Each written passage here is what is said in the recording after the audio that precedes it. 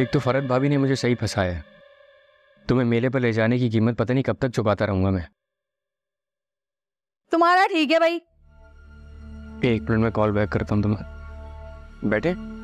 बैठने नहीं आई मैं। दो टोक बात करने आई हूँ। चलें जो भी करने आई है बैठ तो जाए सांस ले लें आप। पानी लाओ आपके लिए। अच्छा नहीं लेकर आ रहा। देखो भाई वली तुमने तो अपना पूरा बचपन जो है ना समन के साथ गुजारा है। हैं? और तुम्हारी किस्मत कि आगे भी तुमने ज़िंदगी उसी के साथ गुजारनी है? तो कम से कम इतना तो कर दो कि समन के लिए इस घर का माहौल थोड़ा सा ठीक कर दो कुछ इतना कर लो कि वो यहाँ आके सुकून का सांस ले सके। क्या हो गया भाभी? आप तो अपने भतीजे की आने खुशी में बहुत खुश थी ना? हाँ, खुश होने की कोशिश तो की थी मैंने लेकिन तुम्हारे भाई मुझे खुश होने दे तो मैं खुश हूँ ना? अब ऐसी बात नहीं है। इस घर में सबसे ज़्यादा बस बस बस। इससे आगे एक लफ्ज नहीं बोलना। सब बकवास है सब झूठ है ये। देखें इतना तो मुझे पता है कि आपका मसला पुप्पो के साथ है। लेकिन इसका ये मतलब नहीं है कि आप सारा गुस्सा जमाल पे भी उतार देंगी। हाय कितना मासूम है ना तुम्हारा भाई है? अरे तुम्हें पता है उसने क्या किया है?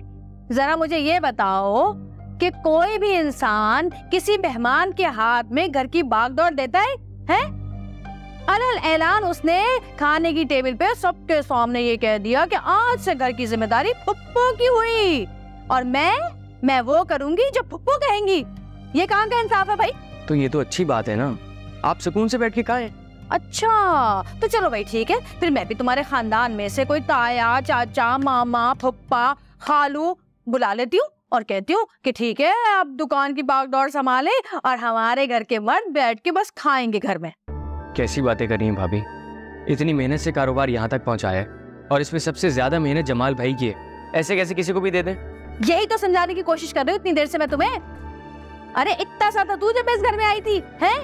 कब से इस घर की बागडोर संभाल रही हूँ मैं? और अम्मी के बाद तो ये हक मेरा है, और वो खाब में आगे भी मुझे कहती रहती है।